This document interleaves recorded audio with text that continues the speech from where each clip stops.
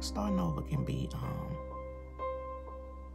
it can be a little bit overwhelming especially when you become comfortable or complacent where you are. Start starting over can uh do that for you. And uh sometimes it can be a headache because you know somebody somebody gotta stay and somebody gotta pack up and go. But i'm gonna tell you something. Look god is love. And whether they love you or not god can still love you God does not have the number seven and eight in the Bible for nothing. Seven means that thing has been completed. It has ran its course. And eight means it's time for a new beginning.